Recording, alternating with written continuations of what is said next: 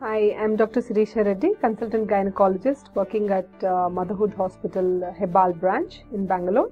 I specialize in laparoscopic surgery and uh, infertility.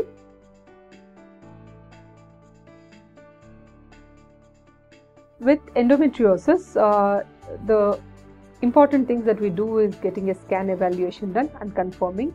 And symptom wise, uh, if it is only the pain is a symptom for you, it is a symptomatic treatment that we offer for it. The gold standard for endometriosis, diagnosis of endometriosis is laparoscopy. Laparoscopy is only uh, performed when the doctor thinks that there is a high suspicion of endometriosis and some sort of treatment is also planned for.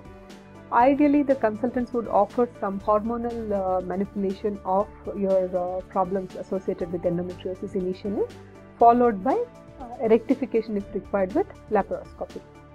And laparoscopy on the forefront would be advised for uh, large endometriotic cysts that are there in your ovary, which would need a correction.